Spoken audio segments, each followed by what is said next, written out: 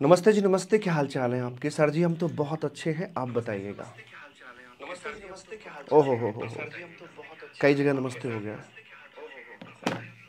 कई जगह नमस्ते हो गया।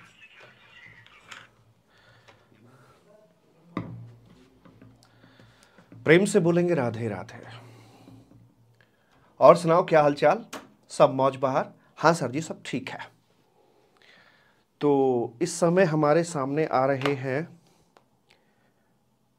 बीरेंद्र प्रसाद यश शिवम, मुझे पहले बताइए, ऑडियो वीडियो फाइन है या नहीं है?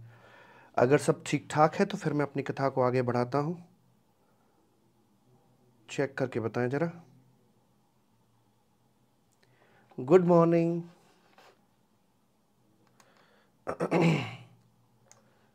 Yes sir, fine है। तो पहले एक बात बताओ मैं तुम्हें अपना इंट्रोडक्शन दूँ? ये जानते हो? सबसे पहली बात तो यही निकल के आती है। मेरे लिए तो आप नए नहीं हो, लेकिन क्या मैं आपके लिए नया हूँ या नहीं? पहले मुझे इसका पता लग जाए, फिर अकॉर्डिंगली मैं आपसे बात करूँगा। लो भैया। Sir I am watching C A final lecture बहुत अच्छी बात है। बुखार था आपका तो? हाँ बच्चा, मुझे बुखार था इवन आज भी है बट चूँकि आज हमारी क्लास शेड्यूल्ड थी डेमो शेड्यूल्ड था तो मैंने अपने आप को किया तैयार और आप लोगों का प्यार तो मैं आपके सामने यहाँ पर आ गया हूँ। ठीक है? चलो सर जी, चलो चलो चलो चलो चलो चलो। तो तो जो बच्चे सीए फाउंडेशन पास करके आए हैं आप तो सीए इंटरमीडिएट में आपका बहुत बहुत स्वागत है। और आपकी जो असल पढ़ाई है सीए की, वो शुरू होती है अब। अब तक तो क्वालिफाइंग राउंड खेल रहे थे आप कि कौन कौन बच्चे एलिजिबल हैं तो सी इंस्टीट्यूट ने सिलेक्शन किया और आपको यहाँ पर लेकर आ गए हैं। आज के इस डिस्कशन में, इस लेक्चर में मैं आपको बताऊँगा कि आपका सब्जेक्ट क्या है और मैं इस सब्जेक्ट को आपको कैसे पढ़ाऊँगा? ये पूरा वीडियो ध्यान से देखिएगा। मेरे सब्जेक्ट के पढ़ने के स्टाइल के साथ साथ आपकी बहुत कुछ समझ बढ़ेगी। इतना सारा कंटेंट है। उसको कैसे हैंडल करना है, क्या अप्रोच लगानी है, वो थोड़ी सी अलग होगी, जितना कि आप अब तक पढ़ते आए हैं, उससे अलग होगी। तो इसलिए इस वीडियो को ज़रूर देखेंगे आप, बीच में कोई भी इसके बच्चा नहीं करेगा। ठीक है? हाँ सर जी, ठीक है। जी तो आइए ज़रा हमारे साथ में यहाँ पर। हम आपको कनेक्ट कर देते हैं। यहाँ अपने आईपैड के साथ में। और, ये आ गया। मैंने कुछ यहाँ पर आपके लिए तैयार किया है। और यहाँ पर हम लोग देखते हैं। तो सबसे पहले आप उसके बारे में जानिए, जो आपको ये सब्जेक्ट पढ़ाने वाला है। पहले समझिए हमारा डमरू क्या कहता है। जैसे गाँव में कभी मदारी आया करता था ना तो डमरू बजा बजा के बच्चों को इकट्ठा करता था। हम भी भागे भागे जाया करते थे, है ना? खेल दिखाने के लिए आया करता था। तो कोई बच्चा कहीं से भी है दूर दूर से भाग भाग कर आते थे। तो ऐसे ही मैं अपने नन्ने मुन्ने प्यारे प्यारे क्यूट क्यूट से, मासूम मासूम से इन बच्चों के लिए ये डमरू बजाता हूँ, जिससे कि वो अपने पंछियों की तरह, अपने पेड़ों की शाखाओं से उतर उतर कर क्लास में आकर बैठ जाते हैं। ठीक है? तो इसलिए प्यार से लोग मुझे डमरू वाले बाबा के नाम से भी जानते हैं। तो पहला इंट्रोडक्शन तो मेरा ये है। दूसरा इन 2007 मैंने सीए क्वालिफाई किया था। नाम मेरा है सी राजकुमार और लेकिन जहाँ तक सवाल है पढ़ाने का तो मैं अक्टूबर 99 से बच्चों को पढ़ा रहा हूँ। शुरू में मैंने पढ़ाए थे A for apple B for boy यहाँ से शुरुआत करी थी मैंने। ठीक है? ट्वेल्थ में था उस समय पे मैं। तो उसके बाद में फिर जब मैं ग्रेजुएशन में आया तो मैंने इंटरमीडिएट तक के बच्चे पढ़ाए, यानी जो प्लस टू होता है। ग्रेजुएशन के बाद मैंने अपना सी ए ज्वाइन किया था, क्योंकि हमें लगता था कि हम सी ए बनने लायक हैं नहीं। फिर किसी ने मोटिवेट किया कि नहीं नहीं, तुम कर सकते हो, तुम कर सकते हो। तो हम सी ए में आए और सी हमने क्वालिफाई किया। जब मैं सी ए कर रहा था, उस समय भी मैंने सी ए इंटरमीडिएट के बच्चे पढ़ाए थे। और CA फाइनल का एग्ज़ाम देने के बाद रिज़ल्ट आने से पहले, मैं दो बैच पढ़ा चुका था इनडायरेक्ट टैक्सेशन के सीए फाइनल में।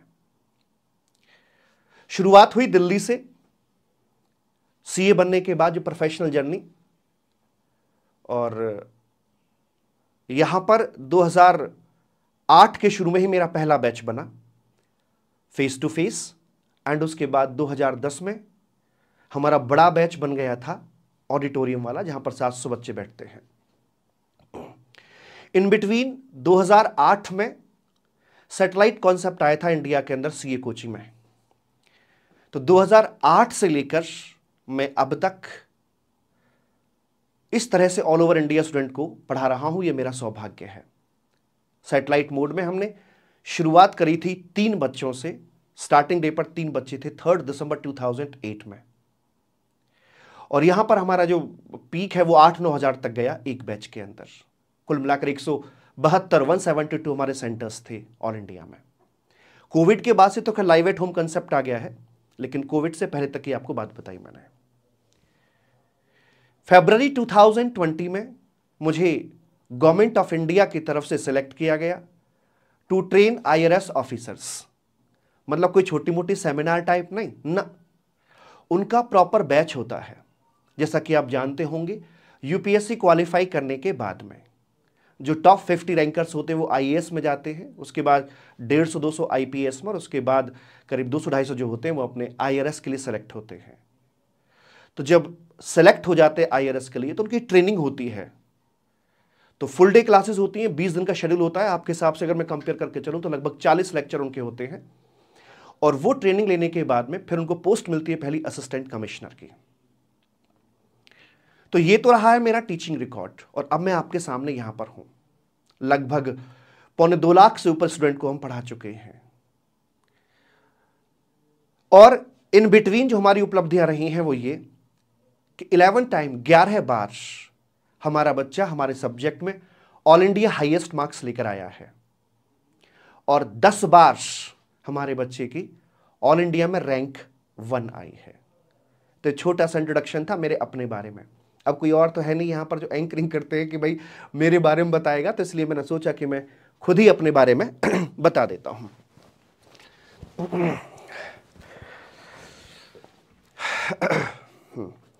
तो ऐसे करके है जी, ठीक है?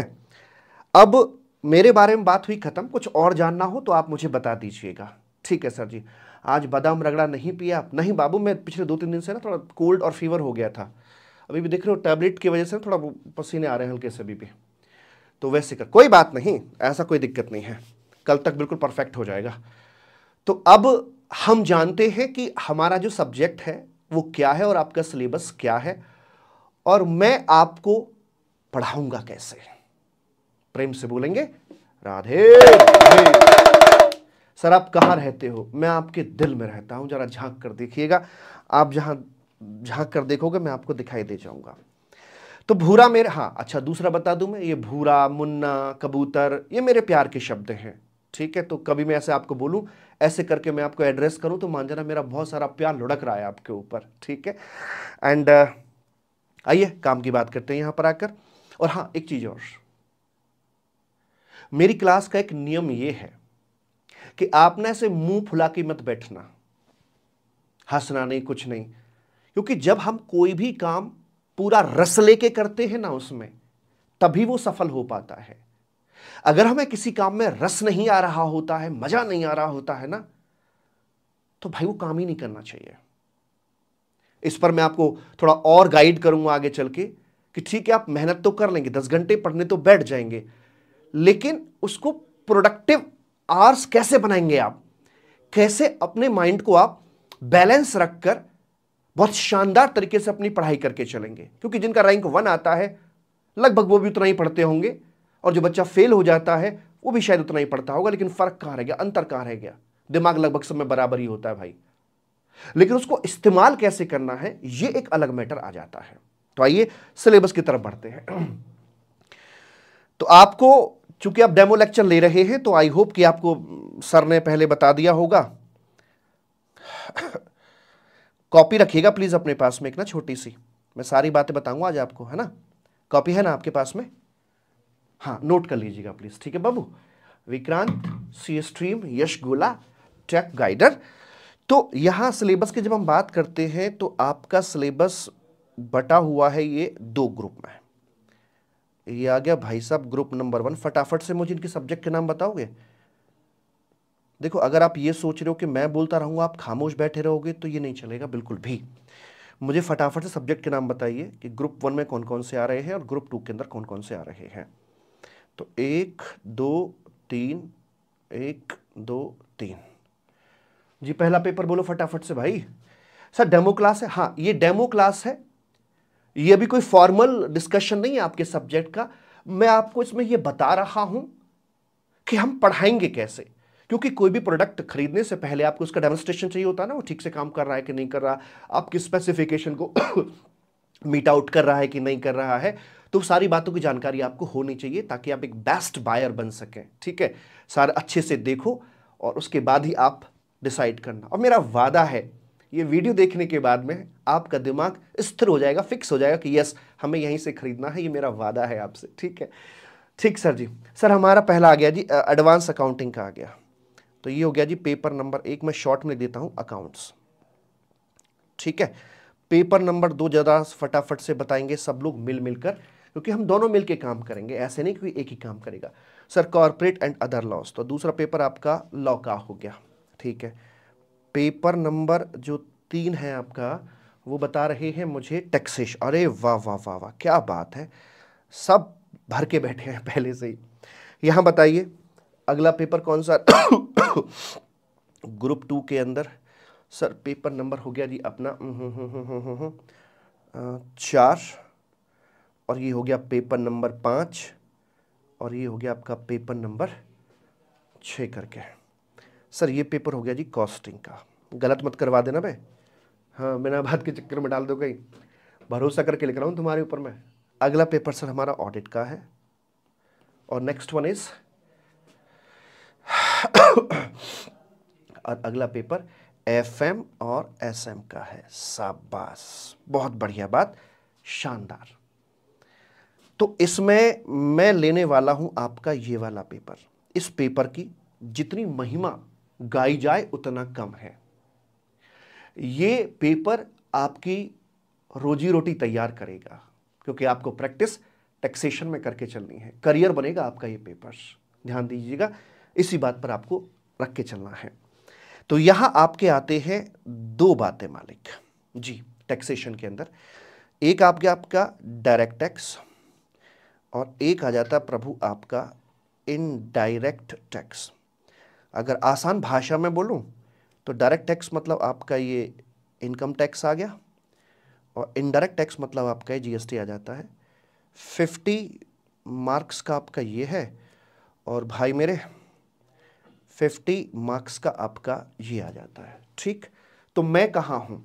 इस मैप के अंदर जो मेरी लोकेशन है, वो यहाँ पर है। ठीक? Okay sir ji. अब पहले ये तय करते हैं। मैं अपने सब्जेक्ट पे थोड़ा बाद में डिस्कशन करूँगा कि आपको अपनी तैयारी करनी कैसे है कौन कौन से पेपर आपको पहले देने हैं, कौन से बाद में करने क्या है। ग्रुप वन के अंदर कंटेंट थोड़ा सा ज़्यादा है आपका as compare to group two अब यहाँ पर आपको हो सकता है कहीं से सलाह मिल रही हो कि भाई ये कर लो, ये कर लो ग्रुप वन में अभी, और इनमें से कोई एक कर लो अभी। चाहे तो डायरेक्ट टैक्स पहले कर लो, या जीएसटी पहले कर लो, और दूसरे को बाद में करना। बाद में मतलब कि इस फ़ेज़ में जब आ जाओगे आप, तब करना। मैं बताता हूँ इस पर आपको दिक्कत क्या हो सकती है। ये आपका पीरियड वन है, और ये है आपका पीरियड नंबर टू अप्रिशिएट करना मेरे साथ में, बताना जो मैं क्वेश्चन पूछूँ आपसे। ठीक है, ये पीरियड टू है। आपका दिमाग ज़्यादा रिलैक्स कौन से वाले पीरियड में होगा? पीरियड वन में या पीरियड टू में? फटाफट जवाब आना चाहिए। भाई सब ऐसे नहीं। मैं आपको चैन से कतई नहीं बैठने दूँगा। हाँ जी। सर जी, देखो यहाँ पे ना, जो दिमाग रिलैक्स होगा, कम, हालाँकि दिमाग तो कभी रिलैक्स होता ही नहीं है बट कंपैरेटिवली अगर बात की जाए तो हम इस साइड में पीरियड वन में ज़्यादा रिलैक्स होंगे। उसके पीछे कारण है। कारण यह है कि देखो, यहाँ पर आते आते आपका ग्रुप वन कंप्लीट हो चुका होगा तो ग्रुप वन का आपने करना होगा यहाँ पर रिवीजन तो ये आपका टाइम कंज्यूम कर रहा होगा दूसरा, आपके कुछ एक बैकलॉग्स पड़े हुए होंगे, रह ही जाते हैं बच्चे के, जब क्लास दो तीन चल रही होती हैं तो कुछ ना कुछ छूट जाता है हम्म? यहाँ बैकलॉग्स आपके पड़े होंगे, वो आपका टाइम कंज्यूम कर रहा होगा, और साथ में चूँकि यहाँ पर बैठा है वो ताऊ। कौन ताऊ? अरे वो एग्ज़ाम जो आपको देना है, ये एग्ज़ाम यहाँ पर है आपका, और साथ में जो एग्ज़ाम का स्ट्रेस है, वो आपकी बैटरी को ऐसे ड्रेन कर रहा होगा जैसे कोई मोबाइल एप्लीकेशन मोबाइल में खुली नहीं रह जाती। कर तो कुछ नहीं रही है। आप यूज़ तो कर नहीं रहे, लेकिन मोबाइल एप्लीकेशन खुली होने की वजह से बैटरी आपकी जा रही है। तो ये आपकी बैटरी को ऐसे निकाल रहा होगा।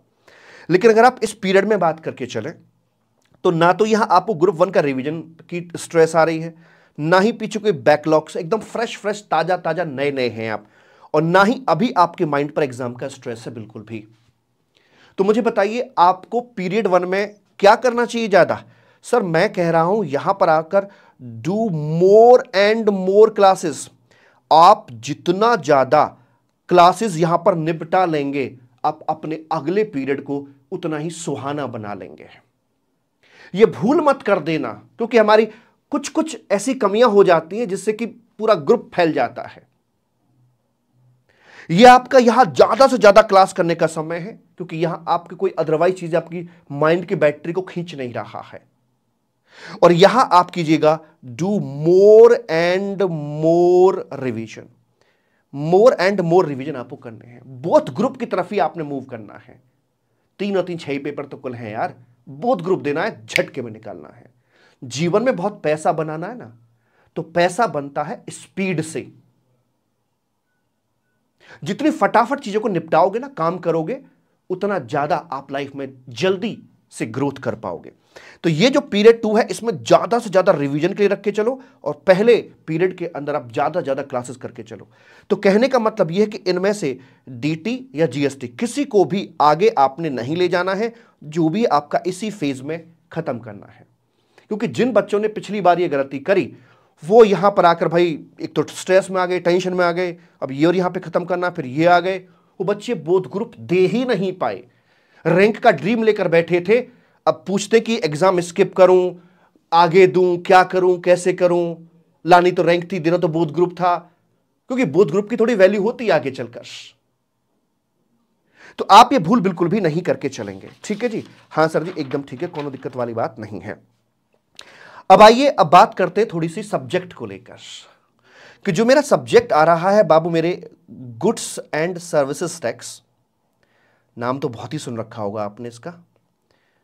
गुड्स एंड सर्विसेज़ टैक्स या इवन कोई और भी पेपर हो। पेपर को क्रैक करने के लिए ना आपको दो चीज़ों पर काम करना पड़ेगा। थोड़ा सा आपको पैटर्न चेंज करना पड़ेगा बाबू मेरे पढ़ाई का। अब वो बात नहीं रहेगी जो पहले हुआ करती थी। थोड़ा सा अब कंटेंट बढ़ेगा अप्रोच बढ़ेगी रट्टाफिकेशन तो बिल्कुल हो ही नहीं सकता क्योंकि कंटेंट इतना ज़्यादा होगा, आप रट ही नहीं पाओगे किसी चीज़ों को। तो सबसे पहली यहाँ पर जो ज़रूरत है, वो है कॉन्सेप्ट क्लैरिटी की। और दूसरी ज़रूरत जो यहाँ पर पड़ेगी, एकदम शीशे की तरह साफ़ होना चाहिए, आपका जो कंसेप्ट है, और दूसरी ज़रूरत पड़ती है भाई मेरे यहाँ पर आकर आपकी राइटिंग प्रैक्टिस की। राइटिंग प्रैक्टिस की। सीए कोर्स के अंदर बहुत सारा बच्चा सिर्फ़ इसी वजह से फेल हो जाता है, क्योंकि उसकी राइटिंग प्रैक्टिस नहीं होती है। राइटिंग प्रैक्टिस कहीं ना कहीं ट्वेल्थ तक ही छूट जाती है। पढ़ता बहुत है, यहाँ बहुत काम कर लेता है, यहाँ काम नहीं कर पाता। मैं आपको बताऊँ 50 परसेंट वेटेज इसकी होती है और फिफ्टी परसेंट वेटेज इसकी होती है। अगर आप सारे कंसेप्ट क्लियर करके, सारा कंटेंट पूरा सिलेबस याद करके बैठे हैं तो भ्रम में मत रहना कि आपकी तैयारी हो गई है। ना, आपकी तैयारी सिर्फ़ आधी हुई है। हम इन दोनों पॉइंट्स पर कैसे काम करेंगे? तो मैं आपको एक एक करके समझाता हूँ चीज़ों को, आपको समझ में आएँगी बातें। सबसे पहली बात यहाँ पर आती है आपके लिए use of technology use of technology new scheme के अंदर न्यू सिलेबस के अंदर। सर टैक्स का पेपर थियोरिटिकल है प्रैक्टिकल बता रहा हूँ बाबू, बता रहा हूँ, अभी बता रहा हूँ। यूज़ ऑफ़ टेक्नोलॉजी ये मैं एक जनरल बात कर रहा हूँ सभी पेपर्स के लिए। क्योंकि आपने देखा होगा सब्जेक्ट स्पेसिफिक आपको हर जगह मिल रहा होगा, मैं आपको एक ओवरऑल बात कर रहा हूँ। Use of technology C institute ने न्यू स्कीम के अंदर मैंडेटरी कर दिया है। कि भाई, बच्चे को सिर्फ़ थ्योरिटिकली रटवाना नहीं है आपने, उसको प्रैक्टिकल लाइफ से अवगत कराना इंट्रोड्यूस कराना है।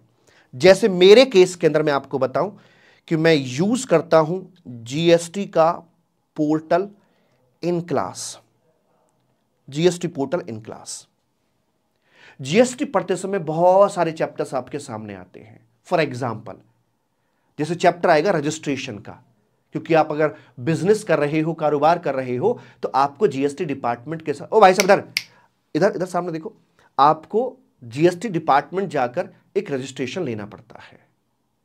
मैं मेरी बुक से आपको रजिस्ट्रेशन का चैप्टर पढ़ाऊँगा बहुत, शिद्दत से पढ़ाऊँगा, ये मेरी किताब है यहाँ पर आकर मैं आपको दिखाता हूँ। यहाँ पे मैं रजिस्ट्रेशन का चैप्टर है, इस वाले दूसरे मॉड्यूल में है वो कर दूसरे में है। तो यहाँ पर आप जब देखेंगे तो जीएसटी पोर्टल सी इंस्टीट्यूट ने से मैंडेट कर दिया है। तो क्या इंप्रेशन आएगा? यहाँ से करने का मैं आपको बताता हूँ कि आपने थ्योरिटिकली तो पढ़ लिया किताब से। कि भाई रजिस्ट्रेशन ऐसे होगा, वहाँ जाकर होगा, ये फॉर्म भरना है, ऐसे करना है, वैसे करना है, वो सारी चीज़ पढ़ ली। लेकिन अगर वो आपने यहाँ से पढ़ने के साथ साथ अगर जीएसटी पोर्टल पर जाकर प्रैक्टिकली देख लिया, कैसे भला? ये रहा आपके सामने, मैं दिखाता हूँ। G S T dot G O V dot in करके। जीएसटी के वेबसाइट पर जाकर जीएसटी की पोर्टल पे जाकर अगर आपने उसे देख लिया तो मालिक एक बात बताइएगा, बात एक अलग ही लेवल पर आ जाएगी कि नहीं आएगी। ये जीएसटी का पोर्टल है। जहाँ भी ज़रूरत पड़ेगी, हर क्लास में लगभग हमारा ये पोर्टल खुल जाएगा। यहाँ पर मैं लॉग इन करता हूँ। मेरी खुद की दो कंपनियाँ हैं और दो कंपनियों के डेटा के साथ मैं आपको यहाँ बिल्कुल ड्यूरिंग द क्लास लाइव में सिखाऊँगा कि देख भाई जीएसटी पे जाके रजिस्ट्रेशन ऐसे होता है। ईवेबिल नाम का एक कॉन्सेप्ट आता है, वो ईवेबिल ऐसे बनता है ऐसे डिस्ट्रॉय किया जाता ईच एंड एवरीथिंग दिखाता हूँ यहाँ पर आकर। ये कैप्चा बोलेंगे, क्या है? Eight one five one one six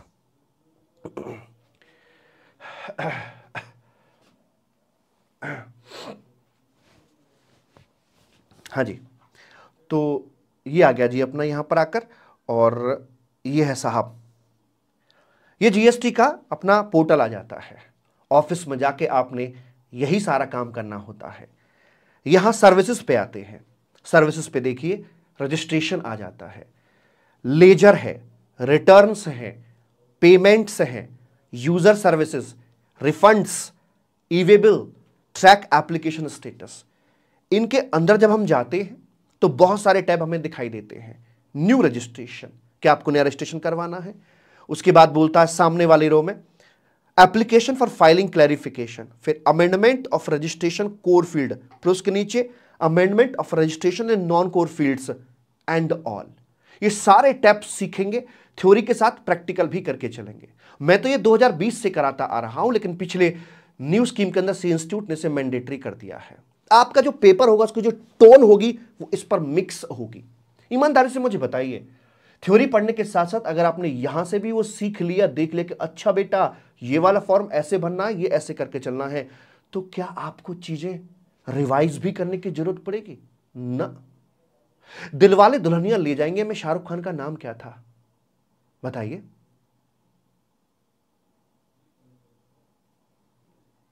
बताइए।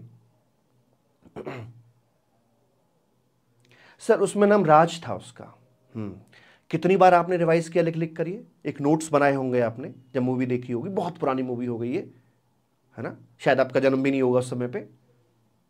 फिर भी आपको पता ऐसे कैसे? क्योंकि आपने उस मूवी को देखा है। दिल से देखा है, दिल से। और जब हम उस चीज़ को जी लेते हैं प्रैक्टिकली फील कर लेते हैं, देख लेते हैं तो उसको हमने रिवाइज नहीं करना होता है। ऐसे मैं आपको सारी चीज़ें यहाँ पर सिखाऊँगा, जिससे कि आपको रिवाइज भी नहीं करना पड़ेगा और कॉन्सेप्ट एक अलग लेवल का आपका आ जाएगा। यहाँ पर मैंने न्यू रजिस्ट्रेशन पर क्लिक किया है। क्लिक करने के बाद आप देखिए, सबसे पहले पूछता है, मैं कौन हूँ? I am a tax payer मैंने कहा हाँ मैं टैक्स पेयर हूँ। कौन से स्टेट से हूँ? मैंने कहा, दिल्ली से हूँ। कह डिस्ट्रिक्ट बोलो, कौन सा है? हमने कहा ईस्ट दिल्ली लक्ष्मी नगर है। यहाँ अपना पैन बताइए। यहाँ अपना जो पेन पर नहीं मारा वो बताइए। आगे परमानेंट अकाउंट नंबर बताइए। ईमेल एड्रेस दीजिए मोबाइल नंबर दो ओ आएँगे। उसके बाद में एक टीआरएन नंबर जनरेट होता है। फिर टीआरएन नंबर को लेकर आगे बढ़ते हैं। करीब दस पेज की एप्लीकेशन होती है। आधा पौना घंटे का समय लगता है इसको पूरा रजिस्ट्रेशन करने में। आधार के साथ ऑथेंटिकेशन भी करी जाती है। और उस आधे घंटे के अंदर जो भी आपने थ्योरी पढ़ रखी थी, वो सारी की सारी यहाँ से कवर होती है। और यहाँ से पढ़ने के बाद जब आप ऑफ़िस में जाओगे अपने में तो एक मज़ा सा आ जाएगा कि यस मुझे काम पहले से आता है। और सी इंस्टीट्यूट तो एग्ज़ाम खैर इस पर बेस्ड पूछ ही रहा है। उसकी तरह से सर्विसेज़ के अंदर आकर बहुत सारे आपके ये यहाँ रजिस्ट्रेशन के बाद में देखेंगे तो ये पेमेंट्स की बात करके चलते हैं। चलान क्रिएट यहाँ पर करवाया जाता है। तो चलान कैसे क्रिएट करना है और किस तरह से उसको फ़ाइल करना है, आगे कैसे पेमेंट्स करनी है, वो सारी चीज़ें अब यहाँ से सीख कर अपनी चलेंगे मालिक। ठीक है sir ji.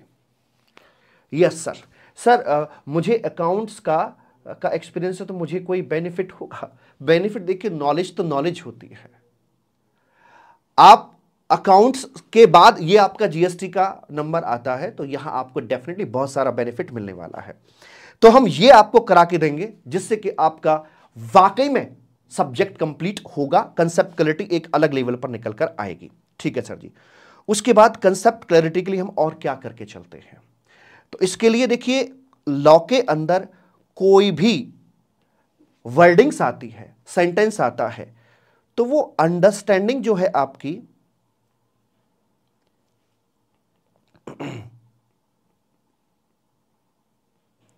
आपकी जो अंडरस्टैंडिंग है, वो विद रीजन होनी चाहिए।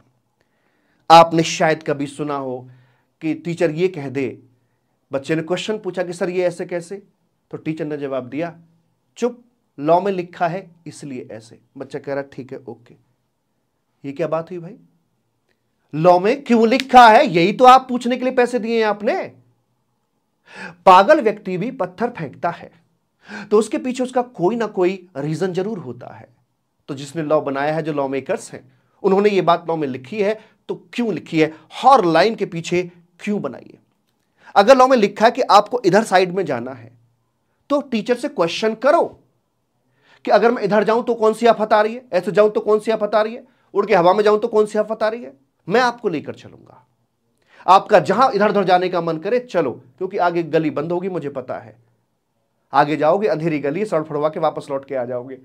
तो इससे क्या है कि जहाँ आपका मन भटकता कि ऐसे ऐसे ऐसे भी हो सकता है तो वहाँ आप घूम के आ जाओगे तो आप मेरी बात पर पूरी तरह से फिक्स हो जाओ कि हाँ यार, यही सही रूट है अपना। हम लोग एनालाइज नहीं करेंगे, हम तो लॉ बनाएँगे। मैं आपको ऑब्जेक्टिव दूँगा कि भाई, ये ये पोजीशन है, बताइए, यहाँ पर लॉ कैसा होना चाहिए, और आई एम श्योर कि आप 90 परसेंट सही लॉ बना देंगे। आपको भरोसा नहीं ना अपने ऊपर? हम तो छोटे बच्चे हैं, हमें तो बस लॉ फॉलो करना फॉलो नहीं करना अपने लॉ लॉ आपने पढ़ाना है। लॉ मेकर को बताना कि भाई लॉ इस तरह से यहाँ पर निकल के आएगा। ड्राफ्ट करके चलना है उसको। तो जो भी काम करेंगे विद रीजन यहाँ पे करके चलेंगे। उसके बाद में इसमें अगला पॉइंट आपका निकल के आता है साहब।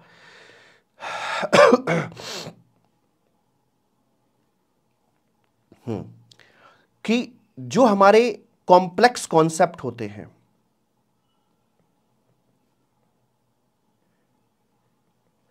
उनको कैसे हैंडल किया जाएगा? आपने देखा होगा आप पहले भी पढ़ते आ रहे हैं। किसी भी लेवल पर, हर सब्जेक्ट में ना, कोई ना कोई कठिन क्वेश्चंस कठिन कंसेप्ट होते ही हैं, जो आपको समझ में भले ही आ जाते हैं, लेकिन थोड़े से मुश्किल से अंदर दिमाग में घुस पाते हैं। बार बार परेशान करते हैं बार बार रिवाइज करने पड़ते हैं वो आपको। तो ऐसे ऐसे जो कॉम्प्लेक्स कॉन्सेप्ट आते हैं, पता मैंने क्या कर रखा उनके लिए? आप विश्वास नहीं करोगे। मैं उनका डेमोन्स्ट्रेशन देके चलता हूँ। उस कंसेप्ट को खेल बनाकर हम यहाँ क्लास में करके चलते हैं। देखना चाहोगे? मैं एक मिनट का आपको एक वीडियो दिखा रहा हूँ कि किस तरह से हम अपने डेमोस को यहाँ पे रख के चलते हैं। आप मुझे बता देना, साउंड वगैरह आ रहा है कि नहीं आ रहा है? एक बार वो देख लेना, कहीं साउंड की दिक्कत हो जाए। ठीक है?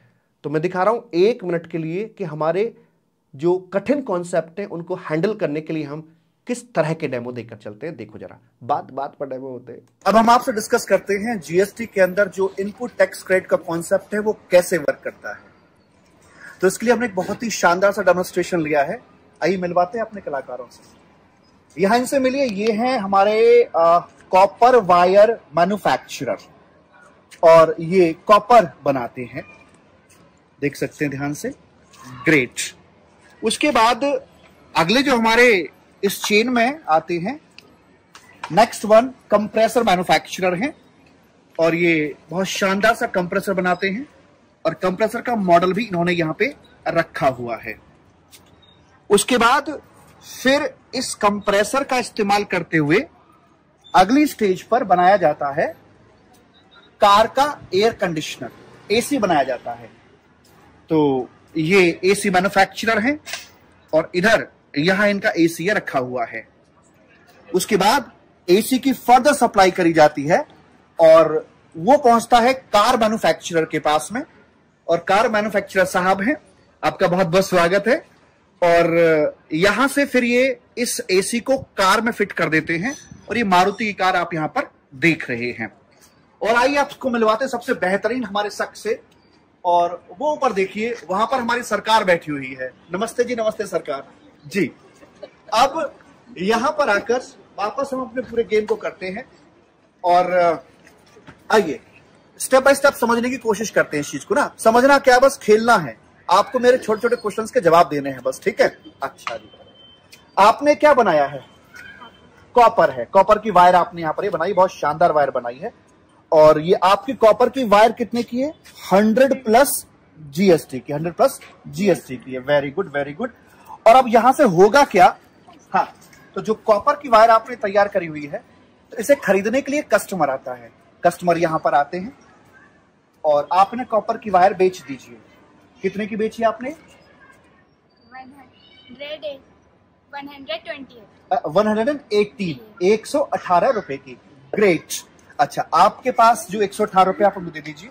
गिन कर देना ठीक से। एक एक रुपए का हिसाब होगा यहाँ पर आकर। हंड्रेड प्लस एटीन, आप दिखाइए। सौ रुपए ये रहे, दस रुपए ये रहे और आठ रुपए इस प्रकार से यहाँ पर आ जाते हैं।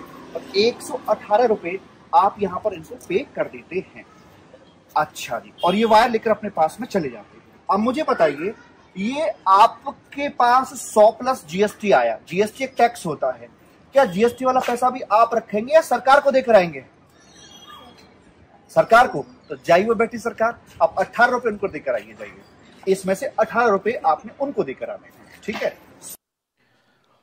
तो इस तरीके से मैं एक नमूना दिखाया आपको यहाँ पे करके, ऐसे ढेरों डेमोन्स्ट्रेशन ये आउटडोर था, मेरे घर के बाहर पार्किंग है, और मैंने वहीं पर डेमो शूट किया अपना। इससे क्या होता है कि हम खेल खेल में ही गहरी बात को सीख जाते हैं, और जब तक वो कॉन्सेप्ट चल रहा होता है उसमें हमें बहुत रस आ रहा होता है और चीज़ दिमाग में सीधी उतर जाती है जिससे कि हमें कॉम्प्लेक्स कॉन्सेप्ट को याद रखने जैसी कोई टेंशन हमारे दिमाग पर नहीं होती वो दिल में सीधा उतर जाता है। ठीक है? तो ऐसे हम यहाँ पे करके चलेंगे मालिक। आई होप कि आपको पसंद आया होगा। ये तो सिर्फ़ एक सैंपल के तौर पे मैंने आपको दिखाया था। बहुत सारे हमारे डेमोस्ट्रेशन यहाँ पर होते हैं। तो इसके लिए हमारे चलेंगे लाइव डेमोज और ये चीज़ आपको सिर्फ़ यहीं पर मिलने वाली कहीं और नहीं मिलेंगे बता रहे हैं हम आपको। ठीक है? उसके बाद में आ, मैं आपको बताता हूँ यहाँ पर आकर एक्सटर्नल रिसोर्सेस क्या है? एक्सटर्नल रिसोर्सेस कंसेप्ट क्लैरिटी की बात चल रही है और कंसेप्ट क्लैरिटी के लिए हम इतने सारे टूल्स का इस्तेमाल करके चलते हैं ताकि एक आपको शानदार वाला पहले कंसेप्ट पे ग्रिप आनी चाहिए, उसके बाद अगला फ़ेज़ शुरू होता है आपका राइटिंग प्रैक्टिस का। तो जैसा कि मैंने आपको बताया था, मैं आईआरएस ऑफिसर्स को ट्रेन करता हूँ, पढ़ाता हूँ।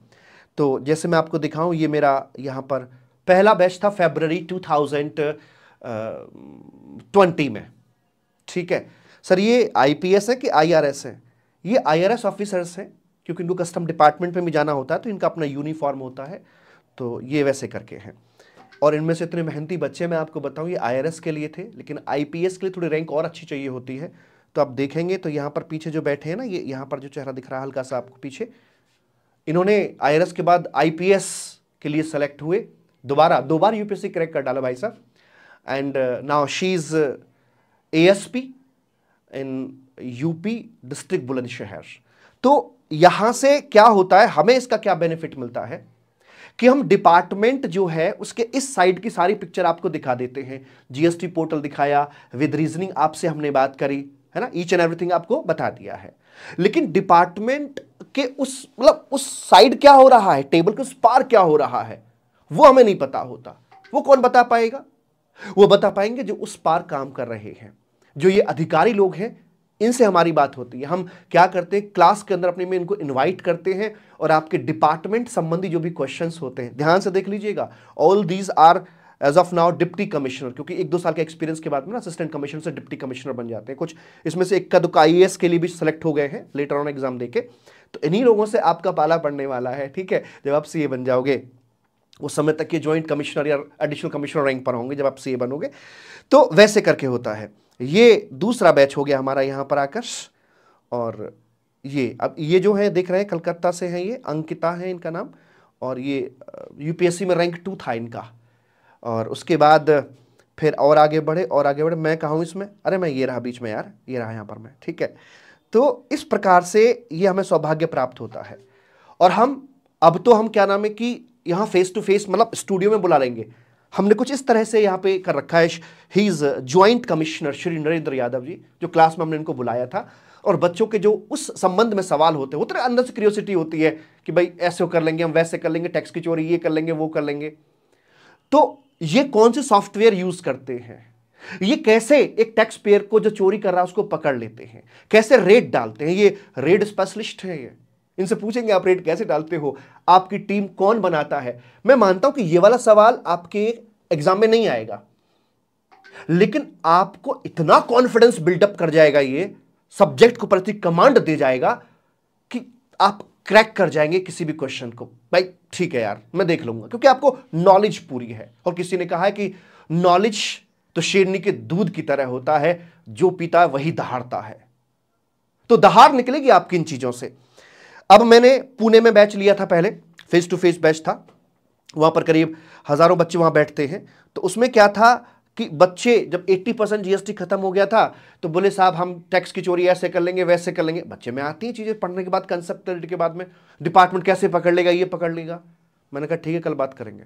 मैंने नेक्स्ट डे वहाँ पुणे में ही चाकन डिवीज़न के असिस्टेंट कमिश्नर मेरे स्टूडेंट हैं कुमार अमरीश आई इनको बुला लिया। क्लास के अंदर ही मेरे कहा, आ जाओ, बच्चों, कुछ डाउट्स हैं। और बहुत एक फ्रेंडली एटमॉस्फेयर क्रिएट करके लगभग एक डेढ़ घंटे का वहाँ पर सेशन रखवाया, जिससे कि बच्चों के मन के जो भाव थे वो सारे बाहर निकल के आए। और उन्होंने बखूबी उन क्वेश्चंस का आंसर किया जो डिपार्टमेंट संबंधी थे माले कैसे करके।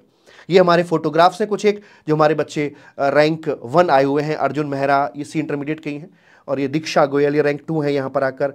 ये नितिन गोयल, ये all India ever highest marks in indirect taxation ये जो ग्यारह बार हमारा बच्चा ऑल इंडिया हाईएस्ट मार्क्स ला चुका है अपने सब्जेक्ट के अंदर उनकी फोटोग्राफ्स कुछ यहाँ पर मैंने दे रखे हैं। तो यहाँ पर हम क्या करते हैं कि जो अपने आईआरएस ऑफिसर्स हैं, उनको बाबू मेरे कॉल करते हैं अपने स्टूडियो में बुलाकर या फिर वीडियो कॉन्फ्रेंसिंग के ज़रिए। ठीक है जी?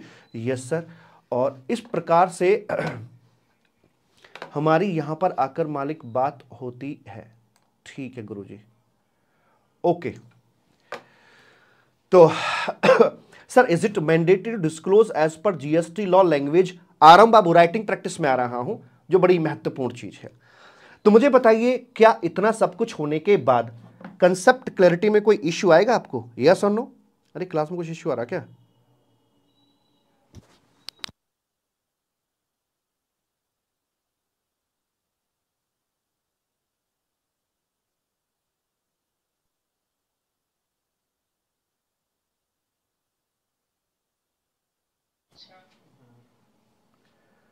क्लास कोई दिक्कत तो नहीं है?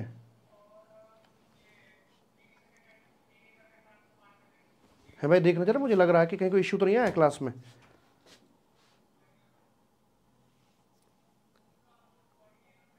हाँ मुझे ऐसा लग रहा था। ठीक है ठीक है जी।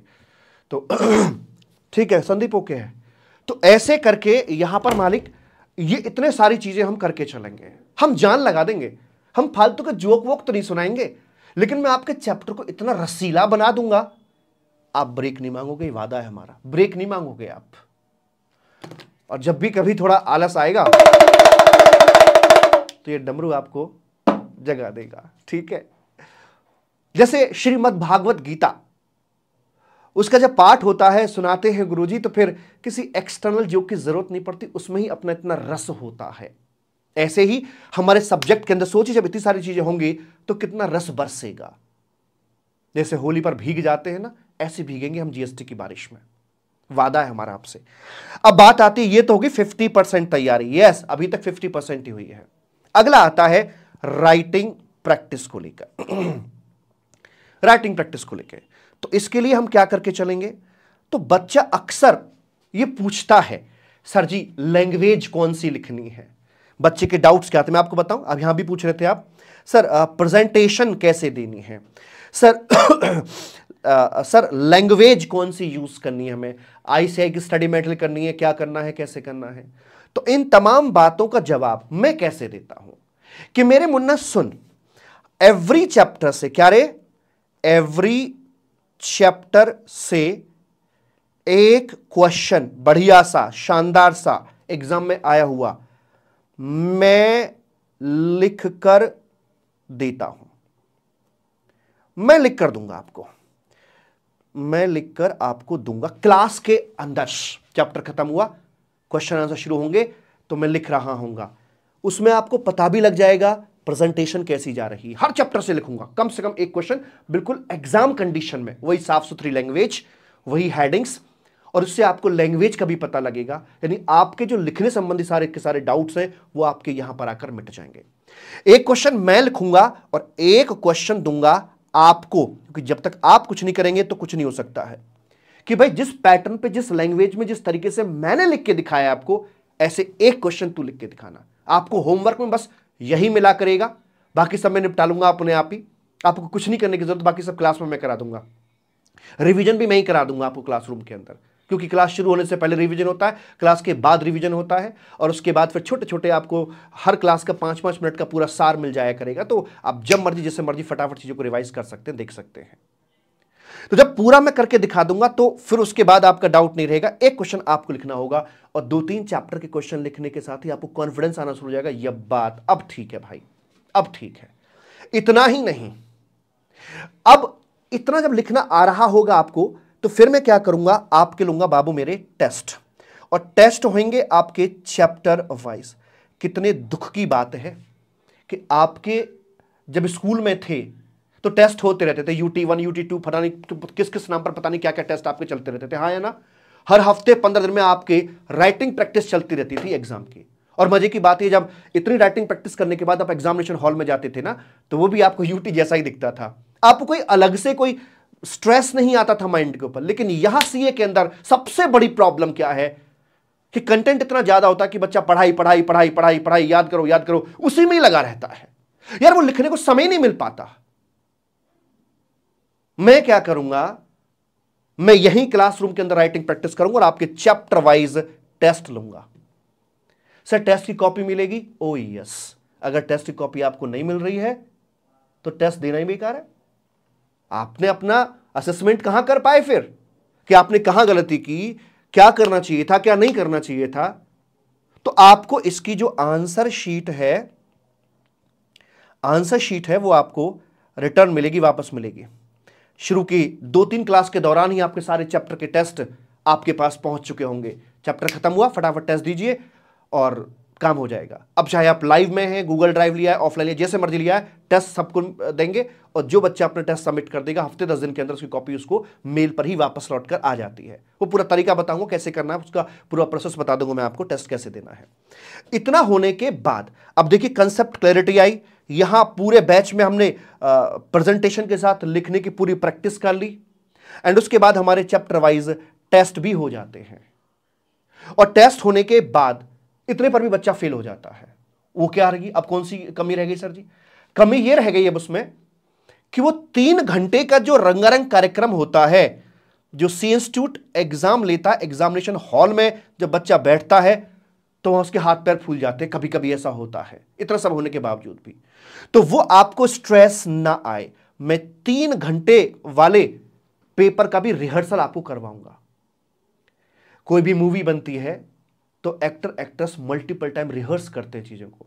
जो बड़े बड़े सिंगर हैं कितना कितना रिहर्सल करते हैं, तब अपनी परफॉर्मेंस देते हैं। और सी स्टूडेंट बिना रिहर्सल किए ही एग्ज़ाम देने चला जाता है। सोचो कितना बड़ा रिस्क ले रहा है, कितना बड़ा रिस्क ले रहा है। और मैं कहता हूँ, भाई साहब, एक मेजोरिटी ऑफ़ द स्टूडेंट सिर्फ़ इस वजह से फेल होता है, उसे लिखना नहीं आता है। तो भाई, यहाँ पर मैं आपको दूँगा सैंपल पेपर्स बिल्कुल हु बहू यहाँ तक कि फॉन्ट साइज़ भी वही रखूँगा जो सी इंस्टीट्यूट रख के चलता है। सी इंस्टीट्यूट के पैरामीटर्स को फॉलो करते हुए, उन्होंने प्रत्येक चैप्टर की क्या वेटेज दे रखी है, उसको फॉलो करते हुए मैं आपको बता के चलूँगा कि भाई ये आपका सैंपल पेपर है। दो सैंपल पेपर में कम से कम आपसे लिखवाऊँगा और वो चेक होकर भी आपको मिलेंगे। इसके बाद जाना एग्जामिनेशन हॉल देने के लिए। टीका लगा के फिर आपको दही और मीठा खिला के भेजूँगा। ठीक है? और फिर आप देखते कैसे नहीं आते आपके। ऑल इंडिया हाईएस्ट मार्क्स ग्यारह बार आए हैं मेरे बच्चे के ऑल इंडिया हाईएस्ट मार्क्स यूँ ही नहीं आ गए हैं। बस एक वादा करना पड़ेगा। एक वादा मेरी तरफ़ से है कि मैं जितना बोल रहा हूँ इसमें मैं कोई भी बेईमानी नहीं करूँगा। और एक वादा आपसे लूँगा कि आप भी मेरे साथ कोई किसी प्रकार की बेईमानी मत करना। जो कह रहा हूँ, जैसे कह रहा हूँ, चुपचाप मान लेना। देखिए, अपना जो गुरु होता है ना, उसका सिलेक्शन बहुत सोच समझ के करना चाहिए। और एक बार जब सिलेक्शन कर लो तो उस पर डाउट नहीं करना चाहिए। जीवन में ध्यान रखना। गुरु बहुत मिलेंगे आपको जीवन में। अलग अलग स्टेज पर अलग अलग तरह के गुरु मिलेंगे आपको। ठीक है? तो जो मैं जैसा कहते जा रहा हूँ, वो करना। पास ना हो पाए तो मुझे बेईमान बता देना कि हमने वैसे किया जैसे आपने कहा, और ये हमारा दिक्कत हो गई। तो अब ब्लेम मुझे कर देना। सारा उसका जो नुकसान का हर जाना मेरे ऊपर थोप देना कि साहब, आपने गद्दारी कर दी हमारे साथ में। लेकिन आप वो करना जैसे मैं कह के चल रहा हूँ। सर पेपर में किस टाइप के क्वेश्चन आते हैं, ये ये कि ये थ्योरेटिकल पेपर है कि प्रैक्टिकल पेपर है? तो मैं आपको बताऊँ। इसमें देखिए आपके थ्योरी क्वेश्चंस भी आते हैं। इसमें आपके केस स्टडी बेस्ड क्वेश्चंस भी आएँगे और इसमें आपके न्यूमेरिकल क्वेश्चंस भी आते हैं। तो आप इसे ऐसे मानो 50 परसेंट थ्योरी और 50 परसेंट आपका ये न्यूमेरिकल है। ऐसे मान के चले मोटी मोटी लैंग्वेज में। सर केस स्टडी टाइप मतलब? केस स्टडी टाइप का मतलब ऐसा है कि देखिए बीकॉम वगैरह में क्या होता है कि बोल देते कि define the word family family का मतलब क्या उसे बताइए। ये तो क्या स्ट्रेट फॉरवर्ड थ्योरी क्वेश्चन लेकिन एक सिचुएशन क्रिएट करके कि एक हस्बैंड ने अपनी पत्नी को ये वाला गुड्स बेचा, इस पर जीएसटी लगेगा, नहीं लगेगा? तो वहाँ आपको अप्लाई करना पड़ता है कि क्या ये दोनों फैमिली की डेफिनेशन में आते हैं कि नहीं आते। इसे बोलते हैं एप्लीकेशन बेस्ड क्वेश्चन या केस स्टडी बेस्ड क्वेश्चन बोलते हैं। उसको अप्लाई करा के दिखाना पड़ेगा आपको। तो इस टाइप के क्वेश्चंस आपके यहाँ पर पूछे जाते हैं साहिब। ठीक मालिक? यस सर सर जीएसटी का फुल फॉर्म क्या होता है? ऊपर लिखवाया था मैंने शुरू में ही। गुड्स एंड सर्विसेज़ टैक्स मालिक। ये रहा। गुड्स एंड सर्विसेज़ टैक्स इसका यहाँ पर फुल फॉर्म में आ जाता है मेरा पूरा ठीक है जी? तो ये आपकी यहाँ तक हो जाती है बात। तो आई थिंक इसमें आपको डाउट नहीं रहा होगा। तो मैंने काफ़ी समय देकर आपको बताया कि हम क्या क्या आपको कराने वाले हैं। पहले मुझे बताओ, यहाँ तो कोई दिक्कत तो नहीं बाबू मेरे? नहीं सर, कोई दिक्कत नहीं है। तो चलिए आगे बढ़ते हैं। अब सबसे अहम बात पर और आ जाइए और सारी अहम अहम बात मैं आपसे आज करने वाला हूँ। यहाँ पर आकर मैं आपको बताऊँ बाबू मेरे, कि आपको जो क्लासेस लेनी है, उसका मोड क्या रहेगा? The most important thing sir हम लाइव क्लास ले ऑफलाइन लें, कौन सा मोड लें? क्लास मिलती है बाज़ार के अंदर आपको तीन तरीके की। एक होती है हंड्रेड परसेंट लाइव बाबू मेरे I am not talking about only myself अब बाकी में भी ध्यान रखना। हंड्रेड परसेंट लाइव एक होती है आपकी हंड्रेड परसेंट रिकॉर्डेड जिसे ऑफलाइन या गूगल ड्राइव मोड या पेन ड्राइव मोड के नाम से भी जानते हैं जीडीपीडी के नाम से भी जानते हैं। और एक तीसरा होता है इन बिटवीन कि इसमें आपका लाइव भी होता है और प्लस इसमें रिकॉर्डेड भी होता है। लाइव प्लस रिकॉर्डेड ऐसे करके बात करते हैं। मैं 15 फरवरी से फिफ्टींथ ऑफ़ फेबररी से आपका ये जीएसटी लाइव यहाँ पर शुरू कर रहा हूँ। एकदम फ्रेश ताज़ा ताज़ा।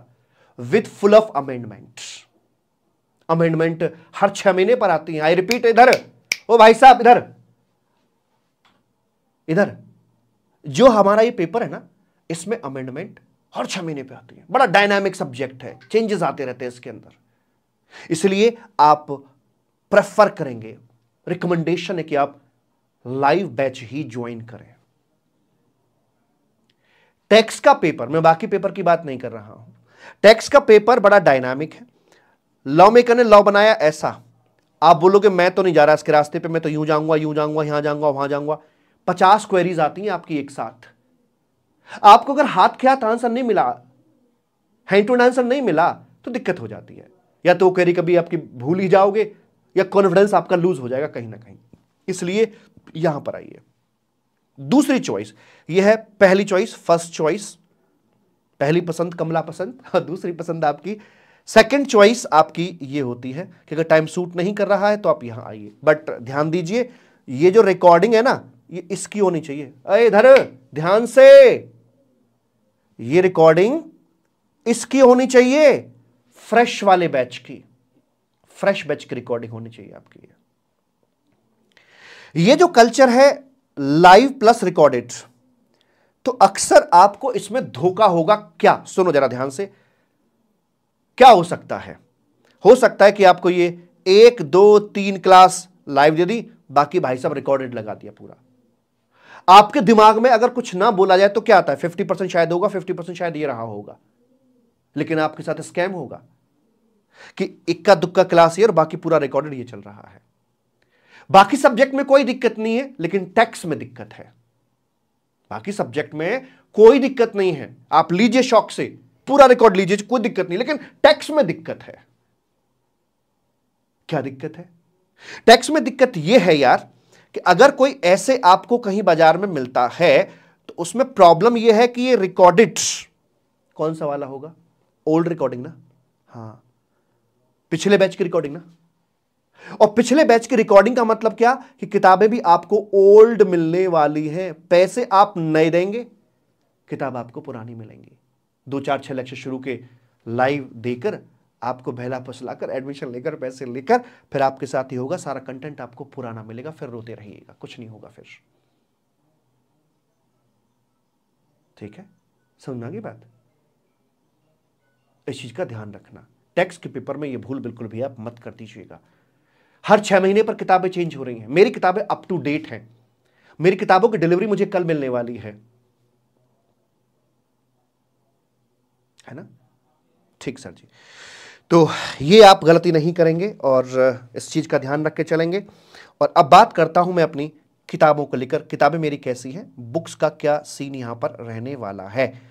तो देखिए भाई, आपको जो किताबें मिलेंगी मेरे यहाँ पर तो जो मेरी टेक्स्ट बुक आ गई अपनी प्रॉपर तरीके से टेक्स्ट बुक और यहाँ पर आपके प्रैक्टिस बुक आएगी। दो टेक्स्ट बुक है, दो प्रैक्टिस बुक है, और प्लस आपके चार्ट्स आएँगे यहाँ पर रिवीजन वगैरह के लिए, ठीक है? टेक्स्ट बुक में आपके आगे वॉल्यूम वन करके आ गया वॉल्यूम टू करके आ गया। मैं दिखाऊँगा आपको। इतनी मोटी मोटी ऐसे ऐसी होंगी, ज़्यादा मोटी भी नहीं है हालाँकि ये अभी मेरे पिछले बैच की है, पुरानी किताब है ये, क्योंकि नई किताब मेरे हाथ में कल आएगी डिलीवरी उसकी, प्रिंटिंग में थी, कल मिलेगा, ठीक है? तो आप देख सकते हैं यहाँ पर आकर, ये किताब की मोटाई चौड़ाई देख लीजिए क्योंकि सबसे पहले किताब की लंबाई चौड़ाई देखने का मन करता है। ठीक है मालिक?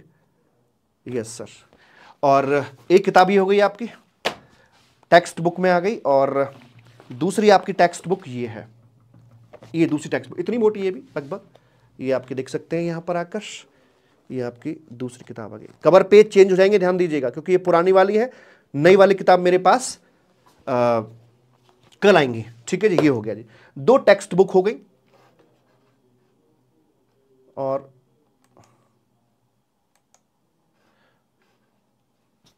एक मिनट।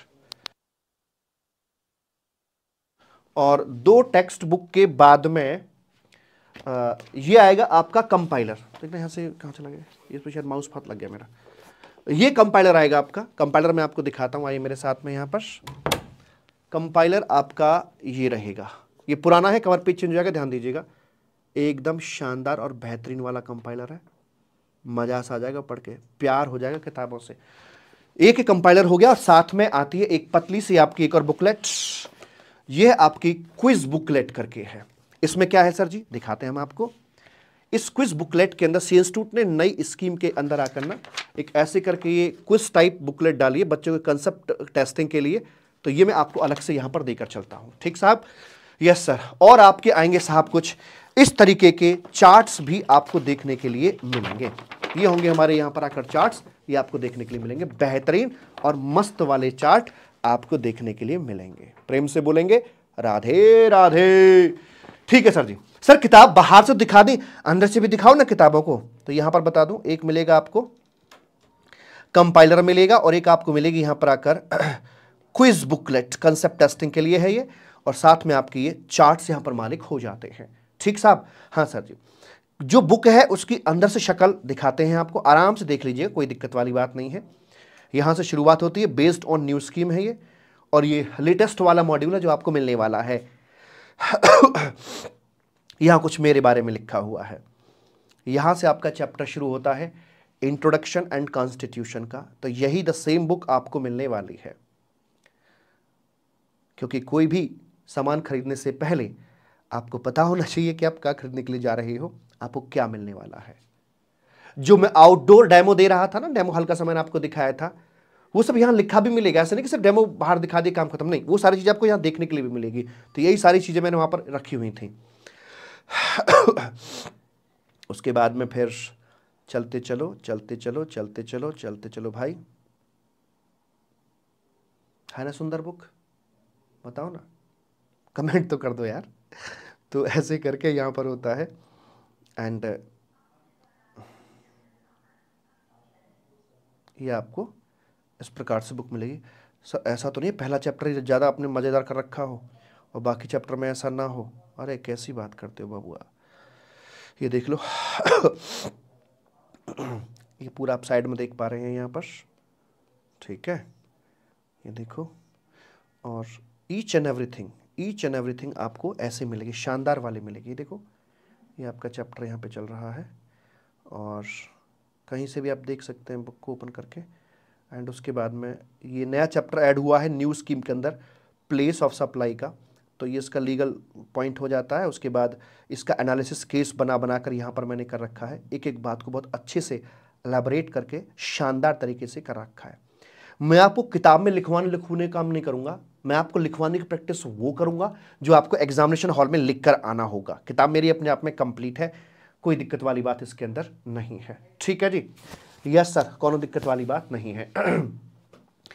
तो ये आपकी रहेंगी मालिक यहाँ पर आकर बुक्स आई होप और ये क्विज बुकलेट है यहाँ पर ये देखिए जो मैं आपको दिखा रहा था अभी। ये क्विज बुकलेट आपकी यहाँ आ गई इंट्रोडक्शन कॉन्स्टिट्यूशन ऐसे ऐसे करके ये है। ठीक जी? और सर वो दिखाओ कंपाइलर कंपाइलर देख लो। आ,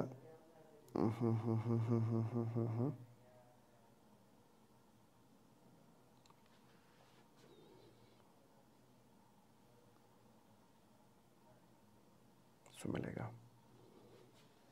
ये आपका कंपाइलर यानी क्वेश्चनर है, जो प्रैक्टिस के लिए हमें करके चलना है।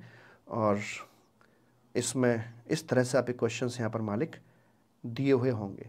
क्वेश्चन का सोर्स क्या है, वो भी आपको बता रखा होता। है जैसे R T P May two का क्वेश्चन है, या दिसंबर 2021 में पाँच नंबर का आया हुआ क्वेश्चन है ये। तो ऐसे करके जो आपका M T P R T P past examination question ये जुलाई 2021 में पाँच नंबर का आया हुआ क्वेश्चन है। तो इस तरह के क्वेश्चन आपसे पूछे जाते हैं। तो ये जो क्वेश्चन दिख रहा है ना, ये होते हैं आपके केस स्टडी टाइप या एप्लीकेशन बेस्ड क्वेश्चन आपके ऐसे होते हैं जो ये दिख रहा है आपको ना, ऐसे करके होते हैं। ठीक मालिक? तो ये रहे। ऐसे केस बना के दिया जाएगा एंड फिर आपको वो करना है। और मेरे इस क्वेश्चन आंसर की बुक में ना, आप देखिए relevant provision analysis and conclusion मतलब जिस प्रेजेंटेशन मोड पर आपको एग्ज़ाम में लिख के आना है, उसी प्रेजेंटेशन मोड पर आपको हर चैप्टर यहाँ देखने के लिए वैसे ही मालिक मिलेगा। ठीक है जी? हाँ सर जी, एकदम ठीक है। और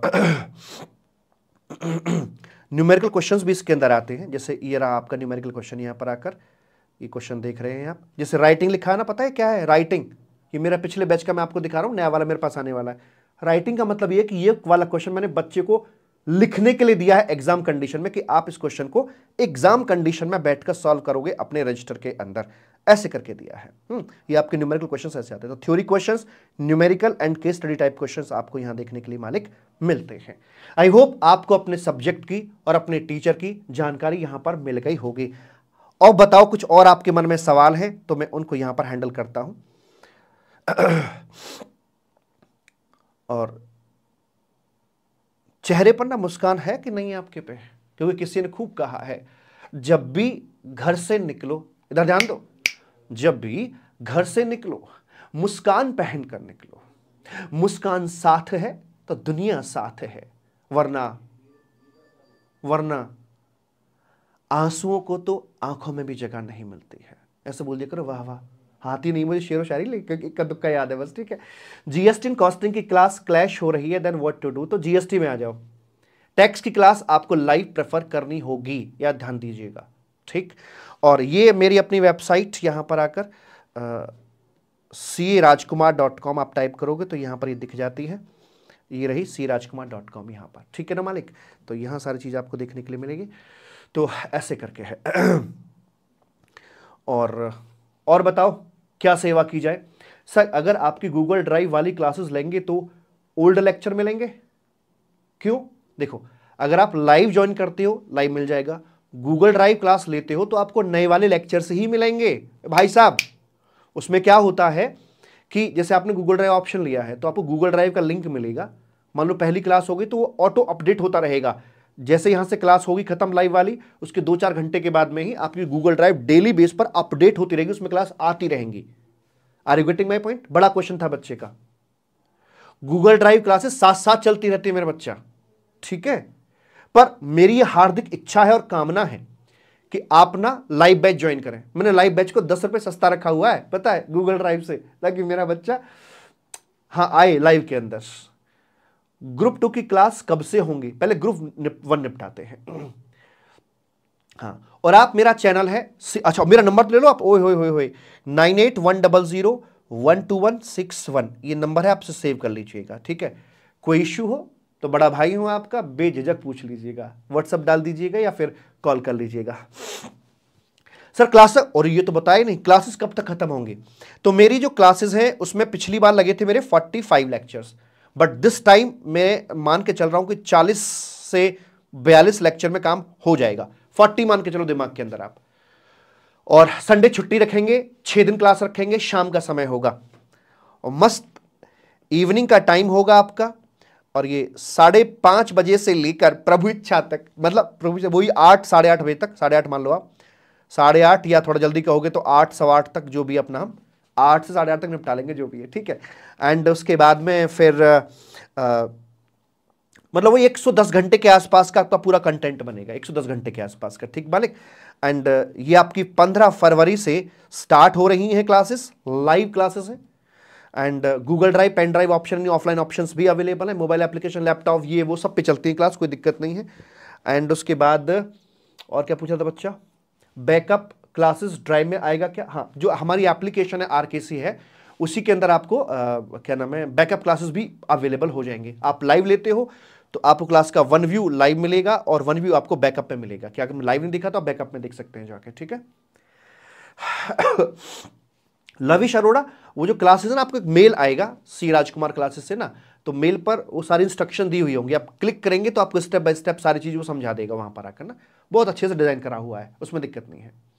ऑफलाइन कहाँ अवेलेबल है? ऑफलाइन मतलब फेस टू फेस की बात कर रहे हो क्या? Face to face face to face में आ, नहीं बाबू मेरा फेस टू फेस में नहीं यहाँ आपसे आई कांटेक्ट में मेंटेन करके पढ़ाऊँगा यहाँ ऐसे करके। हाँ स्टूडियो है मेरा, यहाँ पर कोई बच्चा आना चाहे तो मोस्ट वेलकम पिछली क्लास में भी, पिछले बैच में चार बच्चे आए थे। यहाँ पर आके बैठ गए तो मुझे कोई दिक्कत नहीं लोकल का कोई बच्चा होता, आना चाहता तो आके बैठ जाए, मौज करता है यहाँ पर आकर ठीक है? उसे चाय कॉफ़ी भी पिलाता हूँ मैं। टेस्ट पेन ड्राइव वाले हाँ कैसे दे पाएँगे? टेस्ट में क्या होगा कि एक आपको मेल आएगा जो ऑफलाइन गूगल ड्राइव या पेन ड्राइव बच्चा ले रहा है और वो आपका लिंक पर सारे टेस्ट मिल जाएँगे। आपने अपनी सुविधा के अनुसार टेस्ट मतलब चैप्टर कंप्लीट हुआ, आपने टेस्ट दिया लिंक मिलेगा आपको, वहाँ पर गूगल फॉर्म का लिंक मिलेगा, उस पर आपका टेस्ट होगा। आपको लिखना है अपनी कॉपी के अंदर पीडीएफ बनाकर अटैच कर देना है वहाँ पर। अटैचमेंट होके आपका चला जाएगा, चाहे वो एक महीने बाद जा रहा, दो महीने बाद जा रहा, जब भी जा रहा है, उसके हफ़्ते दस दिन के भीतर भीतर आपको कॉपी मिल जाएगी। तो टेस्ट सभी के लिए है लाइव वालों के लिए भी है गूगल ड्राइव वालों के लिए भी है। चैप्टर खत्म होते अपने आप टेस्ट दीजिए और टेस्ट देना है आपको। और जो बच्चा टेस्ट नहीं देगा, मेरे पास लठ भी है। मैं प्यार भी बहुत करता हूँ और कमर भी बहुत तोड़ता हूँ। और कमर तोड़ते समय ध्यान नहीं रखता कि लड़का है कि लड़की है, ठीक है? दोनों को बराबर प्यार करता हूँ, बराबर मैं धुनाई भी करूँगा, ध्यान रखना। ठीक? तुम ही हो माता, पिता तुम ही हो। अब पेरेंट्स वाला काम भी मैं ही करूँगा आपके लिए। आपकी तैयारी कैसी चल रही है? आपकी परफॉर्मेंस क्या चल रही है? और मज़े की बात बताऊँ, जो टेस्ट में टॉप करेगा ना तो टॉप थ्री होते हैं, उनको मोटिवेट करने के लिए मेरी तरफ़ से कुछ प्राइज भी होता है। मोटिवेशन। के लिए होता है। लेकिन वो सिर्फ़ लाइव में आ पाता है प्राइज वाला फैक्टर तो लाइव क्लास कहाँ पर होंगी? आ जाओ। Sir please say about English batch आप बच्चा मेरा एक नबील करके है, नबील अहमद। वो कह रहा है इंग्लिश बैच कब लोगे? इंग्लिश बैच लूँगा इसे खत्म होने के तुरंत बाद। चल, ठीक, बच्चा मैंने तुझे बता दिया आज। नबील, ये बैच खत्म होने के बाद इंग्लिश बैच हो जाएगा। लाइव क्लासेस कहाँ पर होगी? कहाँ पर होगी मतलब? यहीं पर होगी। सी राजकुमार डॉट कॉम पर आइएगा, वहाँ पर आपको नंबर भी मिल जाएँगे देखने के लिए। नंबर पर बात कर लीजिएगा।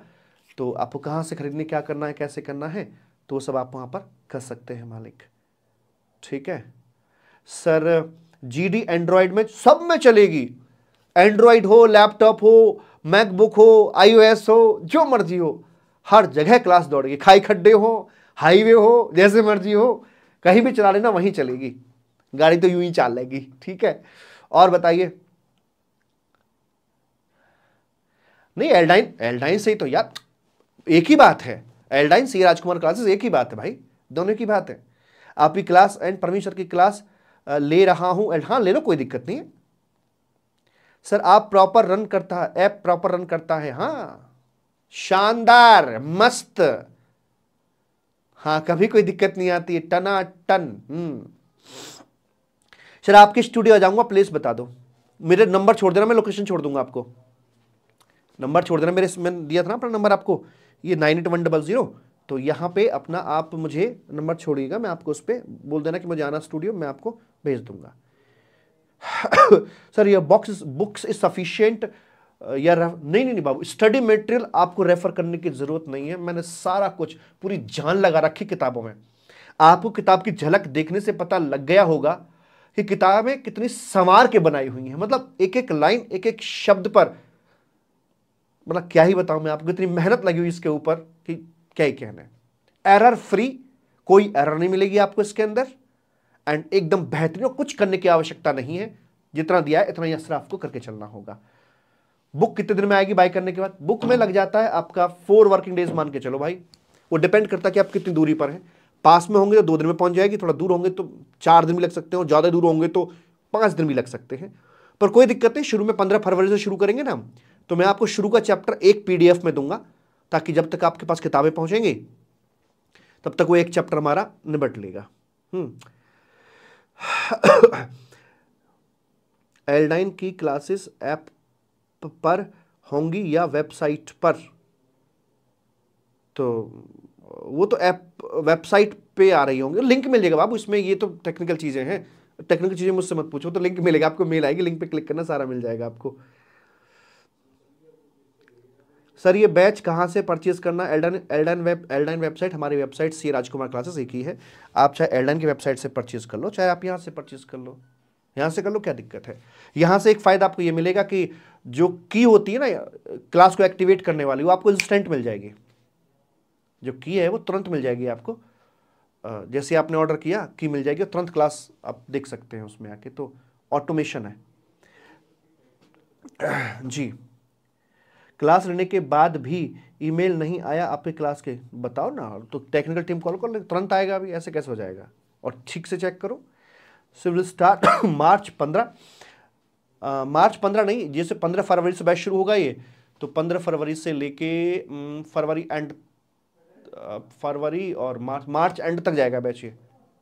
मार्च एंड तक जाएगा ना, उसके और जल्दी करता हूँ।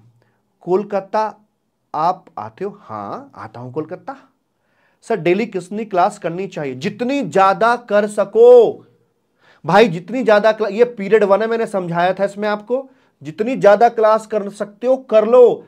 आगे समय ना मिलने का है। एग्ज़ाम का स्ट्रेस, बैकलॉग का स्ट्रेस, रिवीजन का स्ट्रेस, बहुत सारे स्ट्रेस आपकी बैटरी को चूस रहे होंगे। इसलिए निपटाओ जितना ज़्यादा कर सकते हो। अभी कर सकते हो, ज़्यादा से ज़्यादा। ठीक है? तो क्या अब मुझे विदा लेनी चाहिए, मुझे बताइए। हैं? सर, आप गाजियाबाद में हो? हाँ आ जाओ गाजियाबाद, कोई दिक्कत नहीं, यही भाई लोग बैठेंगे मिलके, हैं? चार छह लोग आ जाओ, कोई दिक्कत नहीं है। जो गाजियाबाद साइड से हैं योर मोस्ट वेलकम आइए। आने कहीं से भी आ सकते हो जिनको कंफर्टेबल पड़े। Sudeep Chaudhary I love you sir अरे, मेरा बच्चा लव यू टू सर आपकी क्लास आपके ऐप पे चलेगी एल्डन के मेरे ऐप पे चलेगी आरकेसी पर चलेगी? आपको मेल आ जाएगा, बाबू।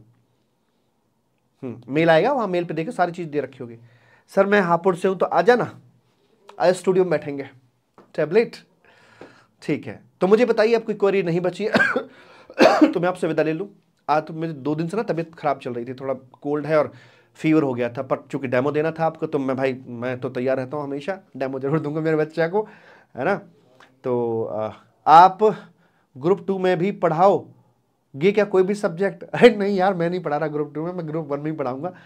आपका स्टूडियो कहाँ है? गाजियाबाद में है, आ जाना। हाँ। सर, मेरे मैसेज का, क्या बच्चा मेरे मैसेज का? Okay bye bye bye dear love you tata और मैं आपका मे 24 बैच रिकॉर्डेड पढ़ रहा हूँ, मुझे कोई प्रॉब्लम तो नहीं होगा? नहीं प्रॉब्लम तो नहीं अमेंडमेंट क्लास करनी पड़ेंगे। अमेंडमेंट क्लास दिस बैच जो मैं लेने जा रहा हूँ it is fully amended batch इस बात को दिमाग में डाल दीजिएगा। Fully amended books fully amended batch recorded पुरानी रिकॉर्डिंग के चक्कर में मत पड़िएगा। बाज़ार में बस कुछ अवेलेबल है। ठीक है। अरे मोबाइल पे भेजो ना, मैं लोकेशन भेज दूँगा आपको टैबलेट ठीक है। तो चलें बाबू। Yes sir thank you so much बहुत बहुत धन्यवाद। बोलो, डमरू वाले बाबा तो जो पंछी जहाँ से उड़कर आए थे, वो अपने अपनी शाखाओं पर जाकर बैठ जाए, घोंसले में जाकर बैठ जाए। बहुत बहुत धन्यवाद आपका। मिलता हूँ फिर आपसे। ठीक है? Thank you so much bye tata and love you bye